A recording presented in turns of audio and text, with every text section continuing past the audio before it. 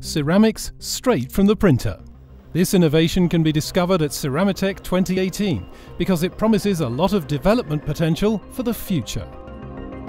Die additive Fertigung ist ein neues Fertigungsverfahren. Additive manufacturing is a new manufacturing process, not only in the ceramics industry but also in others, but in the ceramics industry it's already well advanced.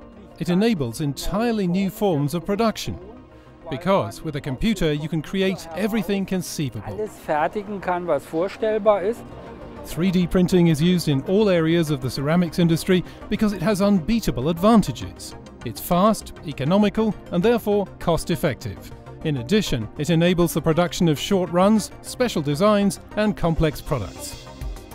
With its new printer, XJet is actively participating in the future of ceramic production. The machine is processing nanoparticles made from ceramic and metal for the very first time.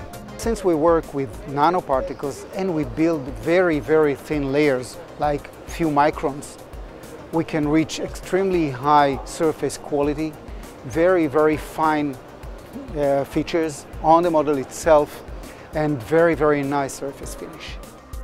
The quality of the end product doesn't solely depend on the size of the printer. Nanoe is presenting a small printer at the fair and planning to use it for printing prototypes, for instance.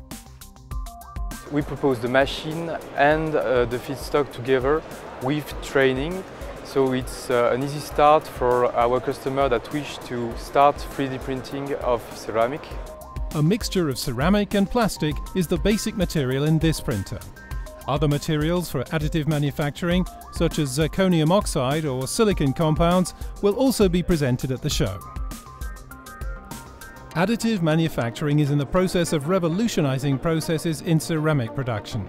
At Ceramitec, therefore, it's being given a big platform of its own, with a special show and lectures.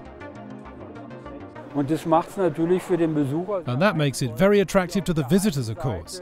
On the one hand, they have scientific research and a view of the future, and on the other, they can see the applications that are already possible today.